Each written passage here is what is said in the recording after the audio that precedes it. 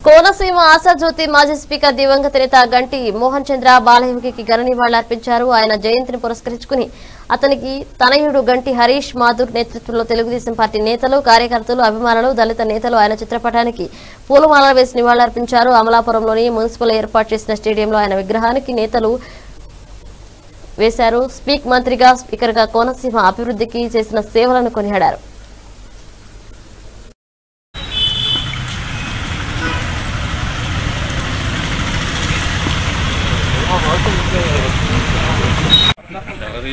వస్తాడు వెనక పెడతారు అదే. బయసు క్లియర్గా లాగు. క్యారెక్టర్ క్లియర్గా ఒక్కొక్కసారి